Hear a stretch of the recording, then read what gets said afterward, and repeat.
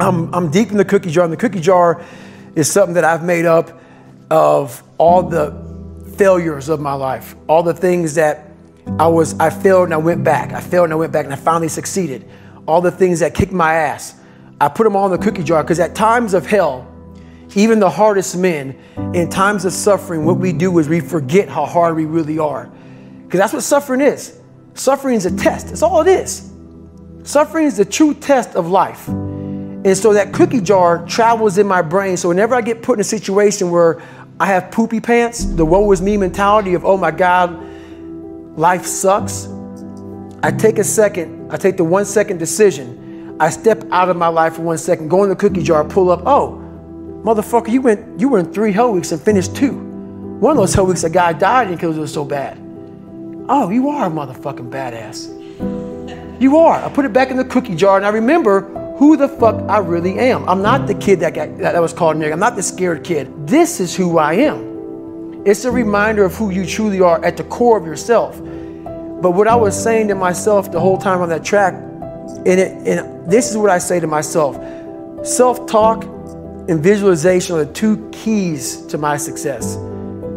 I believed for that last time, 19 miles, I was indestructible. Because I took myself in that chair, crapping up my back, peeing blood down my leg, shin splints, stress fractures.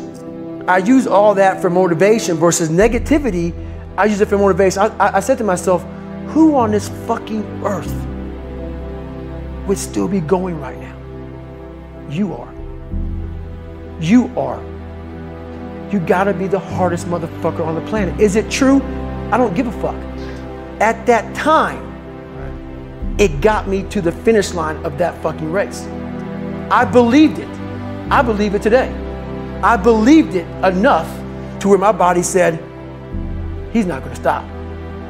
And that's, I took all the negative things. I need to go to the hospital, this and that. And I used it all. Who the hell could even get on that chair? You did. Who the hell would even think about taping stretch fractures up? You did. All those things I used for motivation. I'm the happiest man on the planet Earth. So people may take this, and as so many people do, we live in a very weakened society. So when they hear a throwback guy like me from back in the ancient days of, of Garanimals, they often think this guy is just whatever. So if you think that I'm some unhappy guy, you're wrong. Having lived the life I've lived and seeing the other side, not being afraid to attack what was in front of me, has made me happy. Say that again. In fact, let me make sure I understood it getting to the point where you're not afraid to face the thing on the other side of the door that wants to attack you has made you happy. Right. Right. It's really powerful. I hope people heard that. Right. It made me very happy. So basically, I just don't walk around with a daggone smile on my face all day. So, you know, Merry Christmas. but um, but basically, what the dark side is, is we all have a cookie jar, and we all have a jar of fuck. That's its official name. It's a jar of fuck, man, where shit just it just ain't going right. And in Hell Week, what they do in Hell Week, because this is where I really went to the dark side. What they do in Hell Week is they design Hell Week to find your flaws. And they do a really good job of that. It's 130 hours of continuous training. You may get two hours of sleep. And they beat the shit out of you and find everything wrong with your mentality. And then they start Hell Week. And that's the beauty of it. And for me, I'm not some not, you know, naturally God-given guy. You know, I, I don't have a great bit of talent in anything. So what got me through horrible times was the dark side. Was I created, my name is David Goggins. I created Goggins. Goggins is the guy that can take anything you put in front of him. You want to break my motherfucking legs? So be it. I have a way of going to a place like I did in that race where all the pain and suffering that they put on top of me in Hell Week, I will reverse that pain and suffering and I will take your soul. So every instructor that put me through BUD/S, my job, what drove me was I wanted you to go home that night after you beat the living shit out of me and I smiled in your face, I wanted you to feel worse than I did, and you were going home to a nice warm bed with your wife or your kids and a, nice meal, and I was still out there in the grip, suffering for another 100 hours.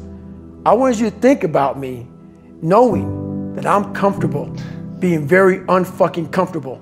And I want you to think about when you went through fucking Hell Week, how uncomfortable you were and how bad you wanted to quit, knowing I'm not thinking that fucking way.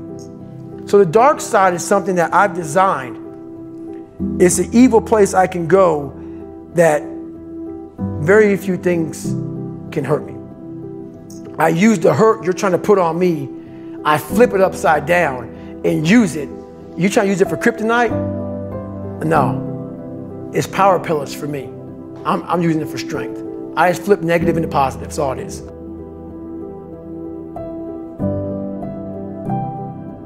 When you said before this whole thing started, you said I can be me. The second you said I can cuss and be me, and cussing, people I said, man, you cuss all the fucking time. Why? well, I hate to say it, the best way for me to get how I feel across, I can't sit here and say, you know what, yeah, I went through Hell Week and man, it was it was really hard. no, that motherfucker takes your damn soul, rips it inside out, and then they say, now we're going to fucking start. It it, it allows me to express where I was at at a point of my life. If I don't give you all of me, why the hell am I here? Why, how will you learn from me? People take so much offense to me. You will never learn from people if we always tap dance around the truth. Oh, God, I love that. We tap dance around the truth by finding the right words so I don't hurt you because you have thin skin. No. Tighten up, people. It's okay. Trust me. It's okay. You might be called nigger one day. It's okay. You might be called some Jewish word or some faggot or gay word. It's okay. Let them call you that. What are you going to do now? They don't own your life. How are you going to control that now? How are you going to flip it upside down and say, Roger that? Now I'm going to harness this shit and you'll read about me years from now. How? That's the question. How are you going to do that?